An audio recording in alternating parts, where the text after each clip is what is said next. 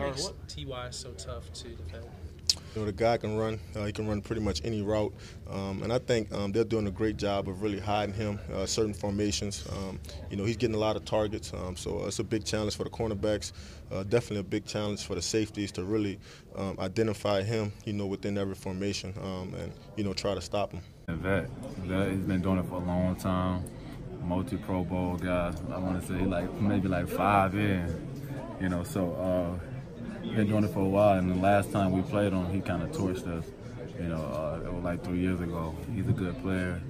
Um, they find him, they put him in different spots to give him the ball, outside, inside, and he's just a really good player, a route runner, and um, uh, got a lot of a lot of tough receivers. Ty, I mean, he's a vet. He's fast, runs great routes, understands what we're trying to do on defense, understands how to get open. I mean, he's probably the hardest to guard. Ty, you Jack was just talking about like you know getting your rhythm back when you've been out for a little bit, or you know just coming off a little injury, maybe even like you had. Uh, well, how did you do that so quickly? It just seemed like you just hit the ground running, even in OTAs, and like you haven't missed a step. Me? Yes, you. Yeah. Uh, just uh, just take care of my body. You know, um, some people is is different, um, but for me, you know, I always take care of my body, and you know, when it's when even when it's not healthy, you know, I know uh, what buttons what buttons to press and, and how and how to get me going.